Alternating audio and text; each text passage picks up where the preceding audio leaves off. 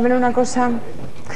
He estado un buen rato pensando cómo podría saludarles después de tanto tiempo, casi cuatro años, confesarles la, emoción, las ganas, la felicidad, los nervios de este reencuentro después de tanto tiempo. Y ahora mismo acabo de decidir, pues diré exactamente eso y ustedes se harán cargo de, la dificultad, de lo difícil de explicarles todo eso en una sola frase. Y además, bien pensado, ustedes no están ahí amablemente en el sofá de su casa esperando ver cómo me siento, me dejo de sentir, sino en todo caso viendo qué es lo que vamos a hacer en este nuevo programa de televisión. Pues bien, es, es muy sencillo y eso sí me gustaría decírselo. A todos los que hacemos este programa nos mueve la gran ilusión de conseguir que ustedes estén ahí en base a una propuesta de verdad muy sencilla. Queremos, pues verán, queremos conocer otras vidas y aprender cosas de ellas. Queremos bucear en otras experiencias que tendrán recuerdos que seguramente podemos compartir, eso que llamamos todos la memoria colectiva. Queremos aprender de otras cosas, de otras experiencias y en el fondo hablar, fíjense qué sencillo es, hablar de una serie de, de, de, cuestiones, de cosas que aunque no se expresan con palabras grandes, importantes, grandilocuentes, son en realidad las que mueven el mundo. Pues estaríamos de acuerdo, el amor, el desamor, la sensibilidad, los desengaños, el fracaso, la experiencia... El amor, el fracaso, las pasiones, la experiencia, la sensibilidad. Eso en televisión a las 10 de la noche. Pero usted sabe lo que dice. Pues yo creo que la televisión también debe enseñar esas cosas. Es más, yo, me acuerdo de esos programas, ya sé que me he hecho mayor, pero de todos modos les propongo un ejercicio de memoria. Lourdes, Tienes ahí la programación de televisión de los últimos 25 años, 20, 25 años. Ahí está todo. Les proponía, digo, un, ejercicio de memoria, un juego. Y es buscar qué se emitía en televisión, tal día como hoy, hoy es el 27 de abril, ¿no? Sí, pues tal día como hoy, 27 de abril, ¿qué programas podíamos ver en televisión que abordaran, que trataran cuestiones como esas que acabamos de comentarles? ¿Qué hemos encontrado, Lourdes? Pues tal día como hoy, 27 de abril de 1973, a esta misma hora se emitía Crónicas de un pueblo. Crónicas de un pueblo, ¿se acuerdan?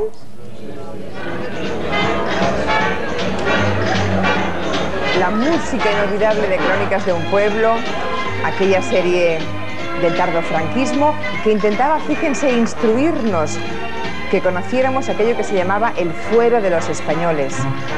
Fue uno de los programas más populares de aquella televisión. Ahí vemos al maestro. ¿Cómo era el maestro? No había quien le tosiera. Bueno, el maestro, el cura. Ahí está, con sotana. En aquella época los curas iban todos con sotana. A punto de encontrarse con el señor maestro. Véanlo. Mañana en la clase. Seguramente ustedes se acordarán del cartero. Y digo yo, ¿se acuerdan? Era la frase, los más jóvenes no, ¿eh? Decía siempre. Lourdes, por ejemplo, no se acuerda, por lo que veo. Pues no. Pero el 27 de abril de 1974, Televisión a esta hora emitía Vivir cada día. Vivir cada día. Tenía una cabecera de presentación moderna. Miren, miren.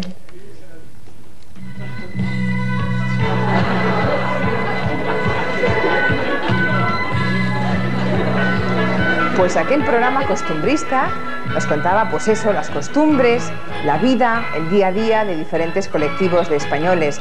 La España de la boina, los campesinos. Aquel programa se dedicó a hablar del último, fíjense, el último tren de pasajeros que tenía una máquina de vapor. Máquina de vapor. Ya entiendo que... Crónicas de un pueblo. Vivir cada día, esto era vivir. Vivir cada Sí. día. Vaya coñazo. El esperado regreso del lautero. Vaya coñazo. Querida, esto es el túnel del tiempo. Ya no queda nadie de esa cuadrilla hoy. Mire, perdóneme, es posible que ya no esté la máquina de vapor, a saber qué se habrá hecho de la máquina de vapor, pero... eh, porque las ciencias adelantan, que es una barbaridad, por supuesto, pero oiga, quedan las personas. Por ejemplo, en esa misma época de vivir cada día, ya hacía algunos años que Jesús Hermida nos había contado cómo había llegado el hombre a la luna. Y ahí está, y ahí sigue Jesús Hermida, cada día con más credibilidad, con más prestigio. Es un hombre incombustible en la comunicación, aquí en la televisión. Lo que quizá había que preguntarle es si ahora, después de 5, 10, 15 años, él volvería a repetir, se arriesgaría a repetir alguno de aquellos programas que él hizo con tantísimo éxito en este momento. A ver qué nos dice Jesús. Pues tal vez sí, pues eh, tal vez no. Pero yo no tentaría la suerte. Y además, verás, te voy a contar una cosa que siempre cuento. Te pido perdón por repetirme, pero yo le oí decir una vez a John Lennon que él no estaba dispuesto a pasarse toda la vida tocando la canción Yesterday. Por tanto, yo no tentaría la suerte.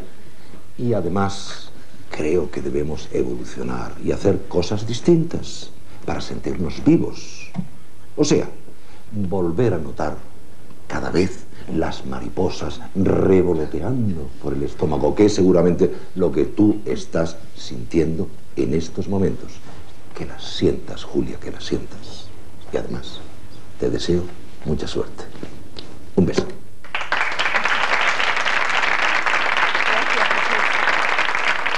Mariposas revoloteando en el estómago.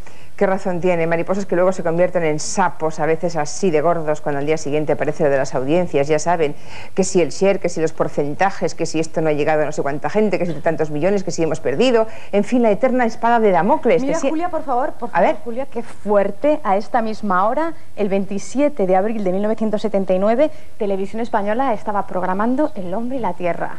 Pues sí, no me negarán que no es fuerte. Que a esta hora, en horario estelar, el queridísimo y añorado amigo Félix Rodríguez de la Fuente pudiera hablarnos en televisión de la vida de los bichos, por ejemplo, de las mariposas.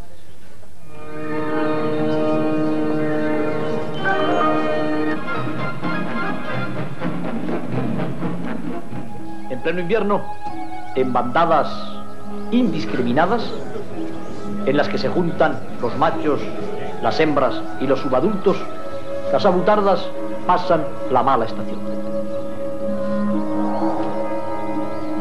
Se forman entonces agrupaciones según el sexo y la edad de las abutardas. Aquella noche nos contaba el queridísimo y añorado Félix Rodríguez de la Fuente la historia de las abutardas, aunque yo me temo que ya debe quedar la mitad de las abu- abu- abutardas. Sí. Hoy, eso de las abutadas Sí. y esas cosas del amor al planeta. Y la ecología y Por la segunda cadena y gracias. Como usted, si sigue así. ¿Ya ha visto lo que le ha pasado a Mercedes Milá? Ah, no, un momento, un momento, un momento. Mercedes Milá nunca, nunca ha hecho programas fáciles, nunca ha intentado lo más fácil en televisión. Siempre ha hecho programas comprometidos con su tiempo, programas en los que ha buscado la verdad, en los que ha buscado los contenidos nobles, interesantes. Seguramente ella se habrá preguntado ¿Qué es lo que hay que hacer para, sin renunciar a nada de todo eso que acabamos de comentar, conseguir que la audiencia esté ahí? Miren qué nos ha dicho. En estos momentos en que acabo de terminar el programa Más que Palabras y estoy como quien dice en carne viva, es muy difícil que yo te explique lo que tú pides, Julia, que es saber qué es lo que hay que hacer en televisión para, haciendo un programa de calidad, llegar a los espectadores. Yo creo que lo que hay que hacer es lo que a uno le pide el corazón, lo que a uno le pide su profesión y su oficio. Y estoy convencida de que lo harás y tendrás mucho éxito. Hay una cosa que vas a tener mmm, ganada, que yo no tuve y que tú desde luego por ahí no vas a tener problemas, y es que no vas a tener a Paco Lobatón haciéndote la competencia, porque eso sí que es muy duro. Paco está haciendo un programa extraordinario que llega a muchísima gente y la verdad es que nuestro programa ha llegado a dos millones de personas, a veces a tres, pero no a tantos como él. Eso por lo menos lo tienes ganado. Hay otra cosa que sí te digo y te recomiendo, y es que para llegar a los espectadores, lo que hay que hacer es hacer lo que uno cree que sabe que hacer y no desviarse de ese camino. Y chica, lo único que puede hacer a tu equipo y a ti es desearte toda la suerte del mundo y decirte que todas las personas que trabajan con entusiasmo y dejándose la piel, por lo menos es lo que nos ha pasado a nosotros, irán mejor o peor las cosas, pero por lo menos lo que es segurísimo es que dormimos tranquilos. Te deseo toda la suerte del mundo. Gracias, Mercedes. Sin duda, Mercedes Milá es de las profesionales de la comunicación que puede dormir tranquila, porque como decíamos, nunca ha buscado el camino fácil, sino aquello que ella creía que debía hacer. Y volverá, y volverá en cualquier momento haciendo un buen programa, como siempre lo ha hecho, porque siempre nos han interesado los contenidos de esos programas. Julia, aquí tengo otro ¿Sí? ejemplo A ver, ¿de qué? de programa interesante. Bien. Es en el año 83 el estudio abierto de José María Íñigo con entrevistas interesantes. Era un día como hoy y a esta hora. Pues en aquella época llevaba ya Íñigo, pues calculo, unos 8 o 10 años haciendo entrevistas. Las singulares entrevistas que hacía entonces José María Íñigo. Música psicodélica, no me lo negarán. Público en el plató, en directo, y ahí está José María Íñigo. Uno de los directores de cine de mayor Hace éxito 12 años. Actualmente, actualmente. Se llama Manolo Summers. Así, por las buenas. Buenas noches. Hola, María. Bienvenido. Bueno, es director, Manolo Summers es director eh, de cine, es guionista, es humorista, es dibujante, es actor y yo creo que mil cosas más. ¿Qué es lo que es Manolo Summers? Sobre todo. Bueno, yo soy cualquier cosa menos alemán. Soy un señor que me gusta hacer de todo. No quiero pasar a ninguna enciclopedia ni a la historia del cine. Quiero jugar y juego a hacer chistes o a hacer películas o a lo que me pida el cuerpo. Me parece que Manolo Summers nació en Sevilla, ¿no? ¿Y de dónde le, le viene ese apellido tan poco sevillano de Summers o Summers? O vaya usted a saber cómo se puede pronunciar eso. Bueno, me viene de mi padre porque yo soy hijo de mi padre. Claro. Y mi padre es hijo del suyo, entonces yo soy hijo de mi padre y nieto de mi abuelo. Y mi tatarabuelo se llamaba Sumer, era un marino muy importante y yo me llamo Sumer, porque era el inglés y vivían en Filipinas. Toma.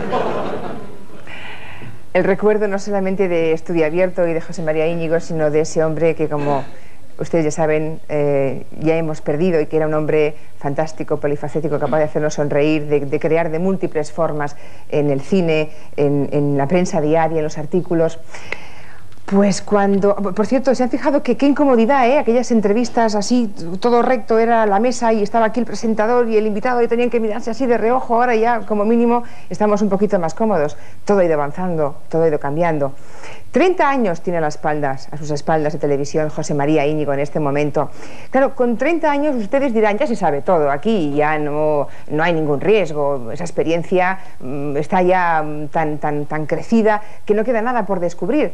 Pero seguramente, pese al paso de los años y de la experiencia largamente acumulada, sí hay cosas que aún se aprenden. Miren lo que nos ha dicho Íñigo. Pues a pesar de los 30 años de televisión, todos los días se está aprendiendo. Pero seguramente para resumir, yo diría que he aprendido fundamentalmente dos cosas. Una, que si no estás en televisión, no eres. No eres absolutamente nadie. El teléfono no suena, dejas de recibir cartas, aquellos amigos que eran amigos dejan de aparecer, dejan de ser, dejan de estar. Si no estás en televisión, no eres. Un famoso periodista, director de revistas, eh, famoso contertulio en tertulias importantes, me decía hace unos cuantos días, después de haber probado el bicho de la televisión, el gusano de la televisión, que prefiere presentar el tiempo en cualquier cadena de televisión a dirigir el país, por ejemplo. Esto es lo que quiero decir. Y una verdad muy cruel, poco popular, pero en televisión para los profesionales, no para el que viene y está tres o cuatro semanas nada más. Para el que vive de esto y pretende estar en esto muchos años, hay una verdad, hay un axioma contundente. El mejor programa es el que más se ve. Y no me hable usted de la calidad, no me hable. Eso para la televisión pública. En una televisión comercial, el mejor programa es el que más se ve. Es duro, pero es así. Esa es la gran verdad. Pues sí que es duro. El, fíjense lo que acaba de decirnos Íñigo. El mejor programa es el que más se ve. Eso es duro, pero esa es la Aprenda, aprenda, aprenda de un maestro. Sabias palabras, querida. Aprenda lo más elemental de la televisión. La gente quiere distraerse. Pero, pero, pero claro, yo eso no se lo discuto, solo faltaría que la gente llegara de trabajar a su casa a esta hora, se, se sentara en el sofá y tuviera que aguantar sermones en la televisión o programas que durmieran a las, a las ovejas o que les aburrieran profundamente, como se suele decir. Es más, la televisión siempre ha buscado eso, siempre ha habido programas de entretenimiento, Tienes de razón, distracción. Julia. ¿A que sí? A ver qué hemos sí, sí, encontrado. porque tal día como hoy, ¿eh? precisamente, tal día 27 como- de abril. 27 de abril del 87. A esta hora todo el país estaba embobado viendo el 1, 2, 3. Claro. En aquella lo que han cambiado los tiempos, había 15, 18, 20 y pico millones de españoles sentados delante del televisor embobados, como acaba de decirnos Lourdes. Sin duda, el 1, 2, 3 ha sido uno de los programas más carismáticos de esta casa. Soy el boom. Soy el crack. Queremos divertir. Con estrellas. O estrellados. Hoy en vuestra tele va a empezar la fiesta show. ¿Se acuerdan? Empezó en el año 72 con Kiko Legar y el mítico Don Cicuta. Es la época ya de Mayra Gómez Gem, nuestra querida compañera, bajando la escalinata, saludando. Y atención, porque van a aparecer enseguida dos azafatas que van ustedes a reconocer. Porque, mírenlas, Kim y Silvia Marsó. Escuchen, por favor, escuchen el mensaje. Buenas noches y gracias por acompañarnos un lunes más. Hola, Kim, pero bueno. Buenas noches. Buenas noches. Buenas noches, Silvia. Buenas noches, Mayra. Hola, buenas noches a vosotras también, chicas. Y ahí están ellas. noches, ¿qué tal? ¿Qué cuentas? Un poco, no sé, Y las cacañonas a punto de aparecer y de reñirles. Ya verán cómo reñirán. Ahí están. Usted y el barba de inundar de sucia pornografía este casto programa. Yo no soy responsable, así que por si acaso, pongamos dos rombos. Eso es poco, señora mía. Los rombos hay que ponerlos así. Las desvergüenzas. No exagere. Además, ¿A qué se han acordado ahora mismo todos ustedes y también en casa de lo de los rombos? Ya lo habían perdido en la memoria, ¿eh? Pues sí, ponían rombos. Y en este caso, pues fíjense, nuestro compañero y amigo Chicho tuvo que justificar con aquella pantalla llena de rombos, pues que las chicas iban, como decían las tacañonas, y como se pensaba seguramente en aquel momento, o mucha gente en España en aquel momento, iban muy descaradas, iban descocadas. Aquello era escabroso, era eh, casi mm, pornográfico. Y ahora no me negarán que en cualquier, pues no sé, fiesta de fin de curso las colegialas irían como mínimo. ¿Sí? Porque fue cinco años más tarde, en el mítico 92, cuando emitía televisión El Precio Justo. El precio justo. No hace tanto, hace solamente tres años. Pero parece que fue ayer, a que si recordamos todos perfectamente aquel gesto, aquella invitación que siempre nos hacía nuestro compañero Joaquín Prat. ¿A que se acuerdan? ¿Cómo era aquello? ¿Cómo era? No me gusta. Oh, el original. Vean, vean. Señoras y señores, aquí comienza el precio justo. Con Paloma, Regina, Rita, Las azafatas del precio justo. Margarita. Como ven, aquí ya no había rombos, ¿eh? Aquí ya no. Y ahí está nuestro compañero Joaquín Prat.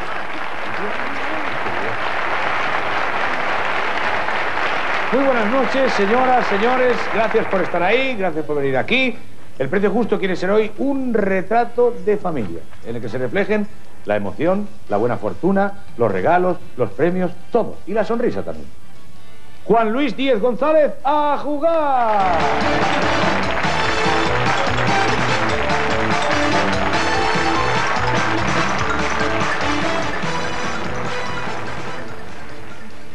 Ahora sí lo haríamos todos mucho mejor, ¿eh?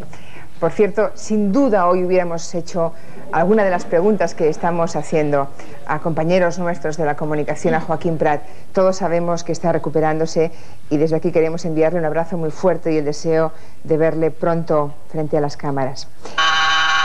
Todo esto está muy bien, encanto, pero mire, acaban de llegarme las audiencias correspondientes ¿Ya? a los primeros 20 minutos de este rollo. Desde que ha empezado el programa, ha perdido usted exactamente 1.769.669 especta 675 espe- 684 los está perdiendo por momentos. Déjelo. se está equivocando bonita y la van a machacar Eh, mire, lo de las equivocaciones, pues depende de cómo se mire. Hay quien tiene la virtud de convertir, pues eso, una, una equivocación en algo positivo, en algo comunicativo, en un, en un hecho comunicativo que atrapa y que gusta a la gente. Yo no sé cómo se hace, pero desde luego hay una maestra, ella lo hace como nadie. ¿Cómo lo hará Carmen Sevilla? Como diría ahora la juventud de ojo, ¿qué, qué preguntita me hace? Bueno, yo creo que son, eh, es la edad, que mientras más edad ya sabes tú que esto funciona un poquillo menos, Pero bueno, mm, tú eres una profesional divina. Tú vas a tener mucho éxito, mi querida Oterito. Yo sé que tú no te vas a equivocar nunca porque tú sabes muy bien darle el capotazo. Pero hija mía, yo ya, pues, bueno, con buen sentido del humor, todo lo arregla en esta vida. Un beso muy fuerte, que Dios te bendiga y que, bueno, toda la suerte en tu programa. Que ya iré yo por ahí, ¿eh? Ya sabes, no te equivoques.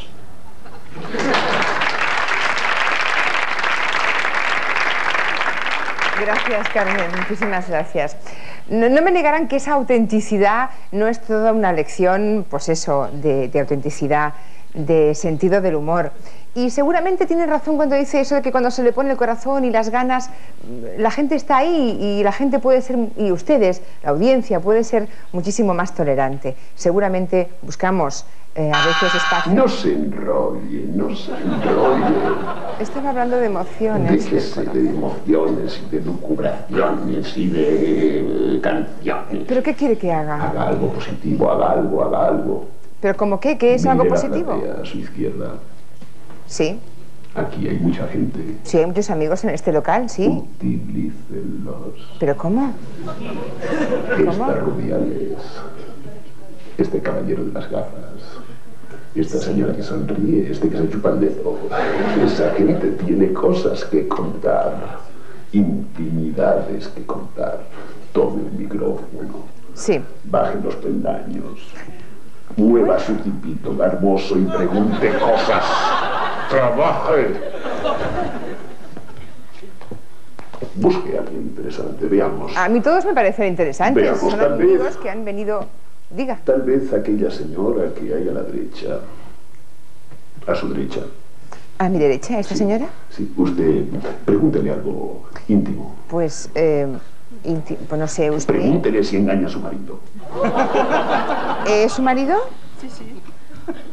¿Le engaña? Pregúntele a él, pregúntele a él si ella está satisfecha. ¿Su mujer le engaña? No, a él le tiene que preguntar si ella es ¿Está satisfecha? Eh, usted, si es Bien, dejémoslo. Usted- Busque un joven bien parecido. un, un joven bien parecido, un joven guapo, sí. ¿Qué, le- qué le parece? No, ese no encanto de atrás.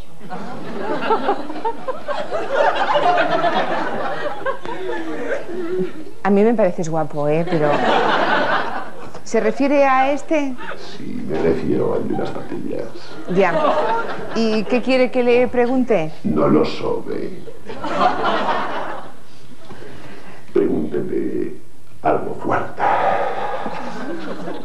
Algo fuerte. Oye, tú, eh, tú conduces... eh, No le pregunte eso. Qué quieren los chicos en lo como. Pregúntele por sus fantasías sexuales.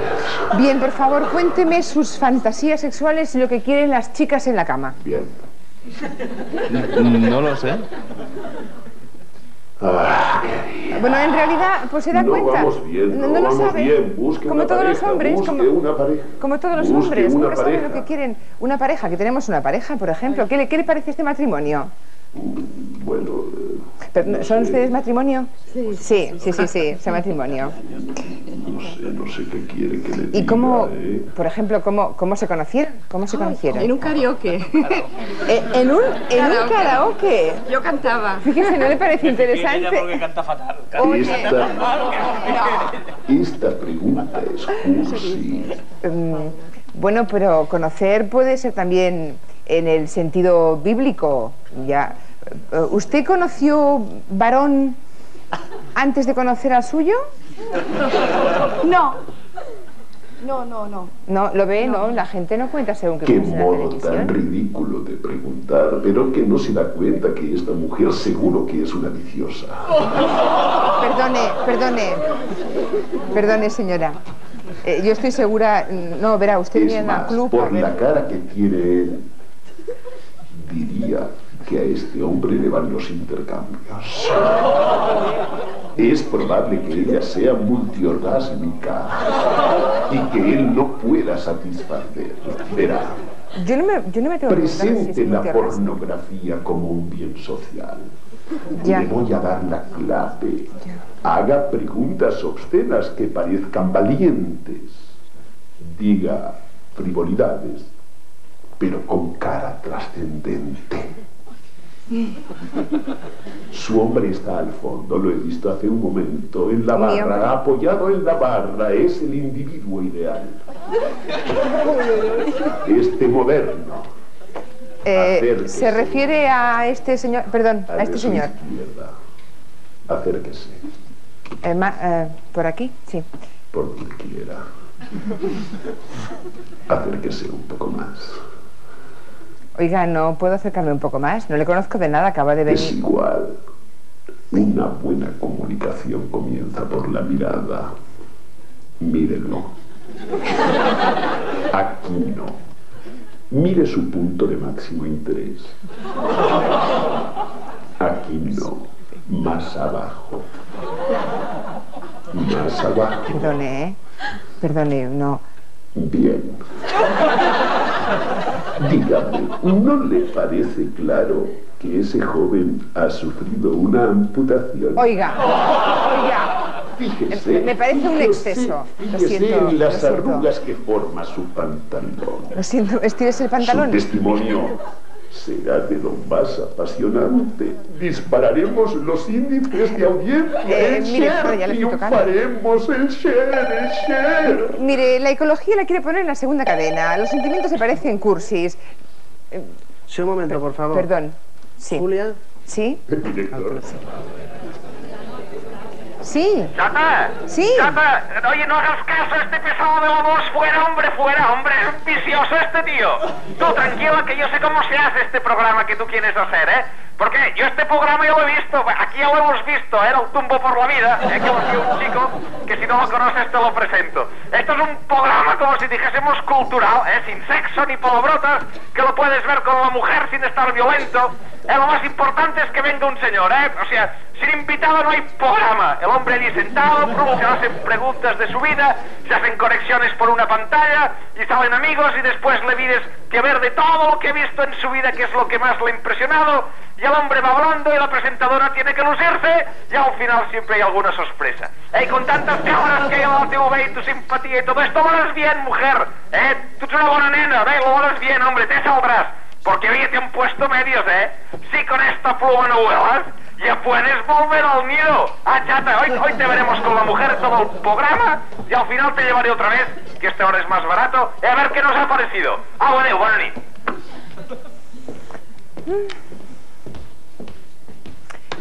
Pues lo tengo claro. Shaf, córtame a esta voz indeseable. Miren, vamos a hacer el programa que queremos hacer. Y estoy segura de que si lo hacemos bien, ustedes van a acompañarnos cada jueves. Se llamará Un paseo por el tiempo. Y lo identificará esta música de clarinete.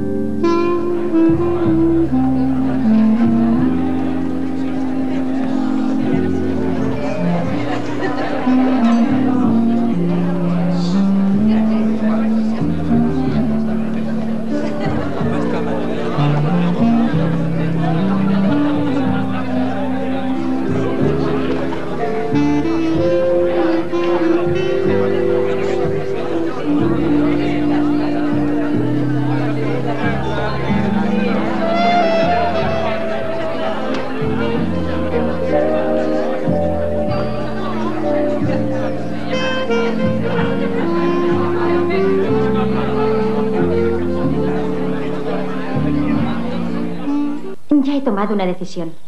Volveré a abrir el local. Quiso aceptar el reto sin estar preparada.